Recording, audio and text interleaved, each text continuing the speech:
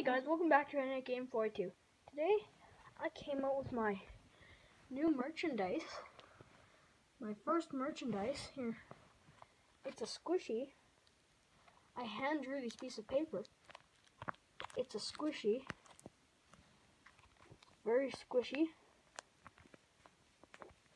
And it's waterproof too, and you can eat it at stuff. And it's still good. But yeah. Wait, this just made smart.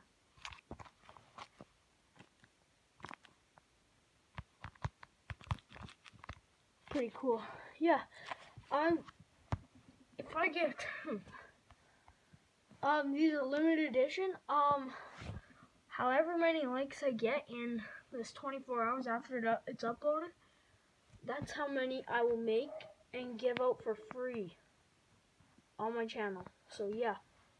Make sure you hit the subscribe button, like it says right there, and hit the like button and comment if you want one of these. See you guys in the next episode.